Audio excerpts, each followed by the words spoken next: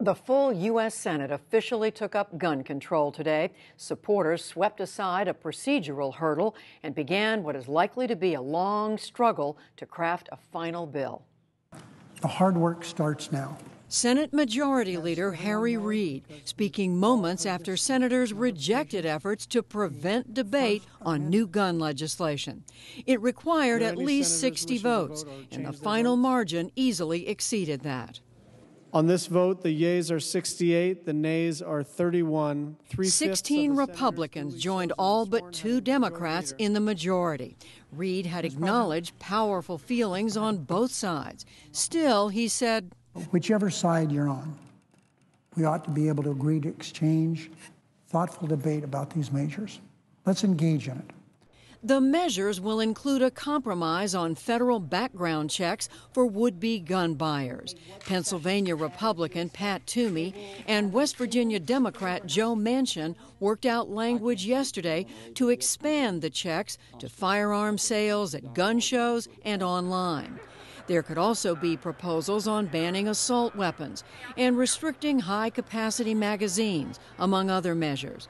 But a majority of Republicans today, including Senator John Cornyn of Texas, said it's pointless to debate symbolic gestures. I'm not going to vote to proceed to a bill that has not yet been written, no matter how well intentioned it may be, rather than put on a show and pat ourselves on the back and call it a day. Let's do something good to make sure we've done everything in our human capacity to prevent another Sandy Hook. And Senate Minority Leader Mitch McConnell said the proposals that Democrats are pushing would violate Second Amendment rights.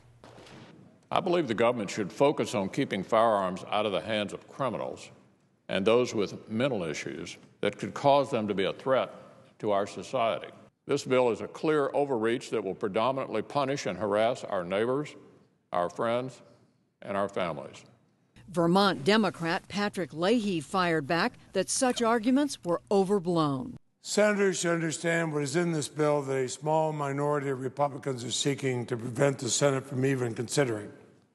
The bill has three parts. None of them threaten Second Amendment rights. None of them call for gun confiscation or a gun or a government registry. In the end, gun control advocates acknowledge that today's Senate outcome does not guarantee ultimate success. At the White House, spokesman Jay Carney called it a first stage. This is an important milestone, uh, but it is a uh, an early milestone, and there is no question that challenges will continue to uh, be placed in the way of making progress on passing common sense uh, le- uh, legislation that would reduce gun violence. Uh, but uh, we are obviously very pleased with today's vote. Carney also said that after the vote, President Obama telephoned families of several children killed in the Newtown school shootings. Some of them had been lobbying senators all week to take up the gun control legislation. Now debate begins in earnest, but any final vote could take weeks.